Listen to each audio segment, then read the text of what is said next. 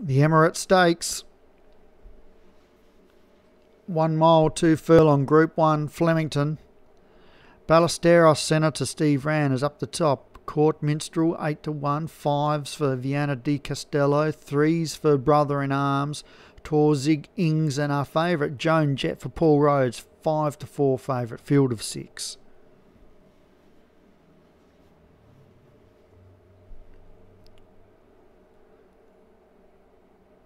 And they're racing in the Emirates. And they've bounced out Ballesteros Senator. Kicking up Viana du Castello. Brother in Arms probably the, uh, is the widest on the track. Torzig Ings pushes up. Ballesteros uh, Senator Joan Jett, the favourite, second last, and last Court Minstrel. A mile left to run and it's Viana du Castello. And it's got a handy lead here from Brother in Arms, who's wide on the track. Not a nothing to be worried about for now. So go past the seven furlong pole. Uh, Ballesteros Senator.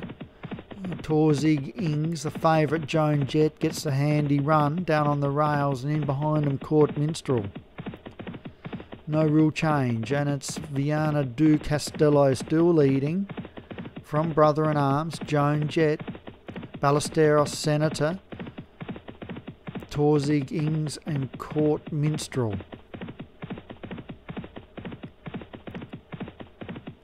And Viana du Castello just cruising at the four furlong from Brother in Arms. Uh, Torzig Ings, Joan Jett hooks out probably just interfered with or held up more than interfered and Torzig Ings and Court Minstrel hooks out wider. They're inside the three furlong. The pace is on and it's Viana du Castello still in front at the two furlong as they straighten up from Ballesteros Senator.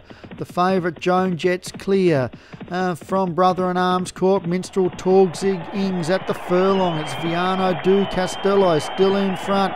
Here comes Joan Jett slowly getting up on the outside. Ballesteros Senator between them, but Joan Jett moves up, takes a lead, and Joan Jett wins from Brother in Arms Ballesteros Senator Viana du Castello. And another Group 1 for Paul Rhodes. And Joan Jett wins the favourite 6 to 4 from the fast finishing brother in arms Leon Van Rensburg. Third was Ballesteros Senator Steve Rann. Fourth, Viana du Castello for Darren Thompson.